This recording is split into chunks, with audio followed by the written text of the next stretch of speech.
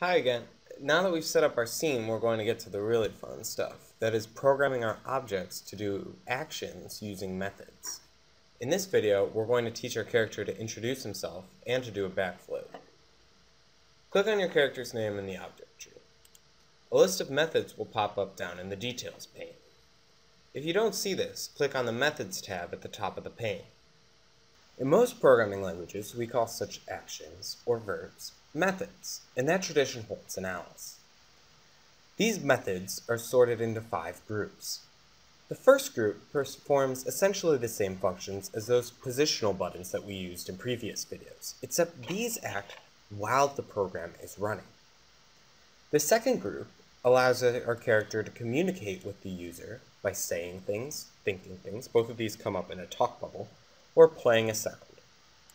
The third group lets our character move with respect to other objects. Say it could move away from a shark or turn towards a coconut.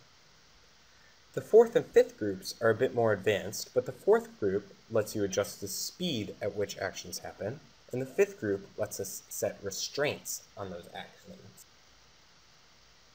To tell your character to do something, just click on one of these methods and drag and drop it into the method editor. Right now, the tab at the top of the method editor indicates that we are editing the world.myFirstMethod method. In the event editor, we can see that when the world starts, the program does world.myFirstMethod. This means that anything that we drop into world.myFirstMethod will be performed as soon as we press play. Let's drag in the method say to start so that we can introduce our character. It's in the second group. If you click on it and drag it into the method editor and select other in the menu that comes up, you'll be able to choose what your character says freely. Type in something like, hey, welcome to my island. And now, if you press play, you can watch our amazing program run. Alright, so not much happens right now. It's just a one second program. To make things more exciting, we'll add in that backflip I was talking about. Click stop. And now, since your character doesn't already know how to do backflips, we'll have to teach him or her. In the details pane for your character, click the gray Create New Method button. Call your method backflip. It's conventional to write the first word of a new method in lowercase and have each successive word start with a capital letter.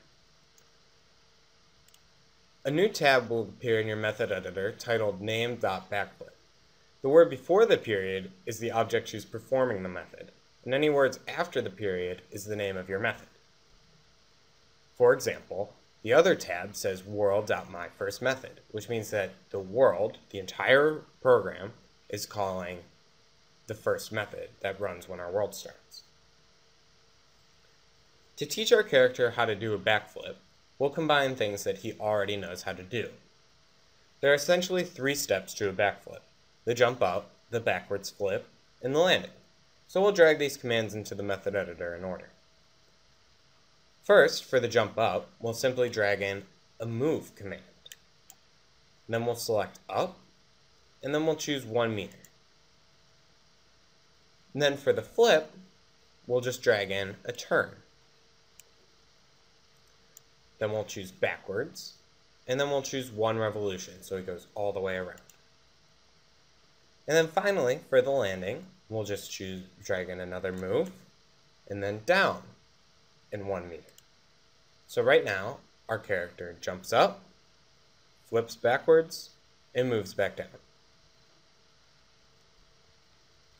To make this happen in our world immediately, we can change the event when the world starts to call just backflip instead of world.myFirstMethod. So select world.myFirstMethod in this event up here, go to random guy 1, and then choose backflip. Random guy 1 will be replaced by your character's name. Now we can test it, and without giving the instructions, your character will do. So your character should flip, but he might hit his head depending on how tall he or she is. So we'll close the window, and in our first act of debugging, we'll increase how high he jumps. Find where it says move up 1 meter, and click on the 1 meter part to change it. Select Other, and then a calculator will come up. Type in 1.75 and click OK. This should be enough to prevent his head from hitting the ground, but it might be different depending on how tall the character that you're using is. Now he's moving up 1.75 meters, but he's only moving down 1.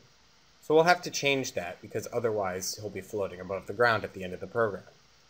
So click where it says 1 meter in the move down, and 1.75 meters will already be on the list because Alice saves our most recently used numbers.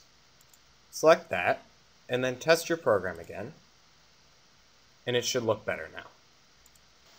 Now to run the introduction and the backflip together, we'll put a call to our backflip method into our first method and run that first. Reselect the world.myfirstmethod tab at the top of your method editor. Now, drag in your character's backflip method from the top of its details pane. Finally, we'll change the event that runs when the world starts back to world.myfirstmethod which will run everything that we currently see in the method editor. Now just press play, and there we go. It all runs together. So finally, as always, just click stop, and then go to File, and Save World. In the next video, we'll make the first part of our Shark Attack method.